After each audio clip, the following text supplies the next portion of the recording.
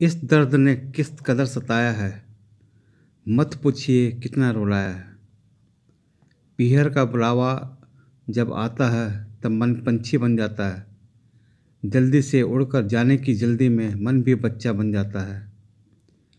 जब दौड़ते वक्त पाँव फिसला और दमा, दम दमादम सीढ़ियों पर गिरी, ऐसा लगा आसमान से उड़ रही थी, पर कटा और धरातल पर आ गिरी। याद आया कि अब मैं माँ बाप की वही छोटी सी गुड़िया नहीं रही। पता ही नहीं चला कब बचपन यौवन सब हाथ से निकल गया। बीस, तीस, चालीस और अब पचास आने को चला। दौड़ते, भागते, उछलते, कब पाँव रुकने लगे, थकने लगे, लड़खड़ाने लगे। रेस में भाग लेने वाले हम कब चलने में भी थक जाने लगे। लेकिन घूमने का मज़ा तो आज भी लेते हैं। एक बार गिर गए तो क्या फिर उठेंगे, फिर दौड़ेंगे, थोड़ा लड़खड़ा जाएँगे, मगर चलते ही जाएँगे।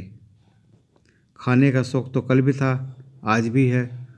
थोड़ा कम पचा पाते हैं, लेकिन आज भी मिठाई, आइसक्रीम।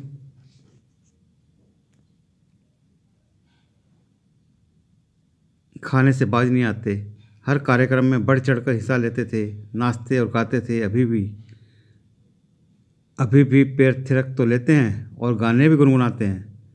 अंग्रेज़ी और हिंदी के अपने प्रिय लेखकों की किताब तो आज भी हम पूरी पूरी पूरी पढ़ जाते हैं। दिन बीत जाते हैं, उम्र बढ़ जाती है, पर हम वहीं के वहीं रह जाते हैं। कुछ भी दिन नहीं बदलता।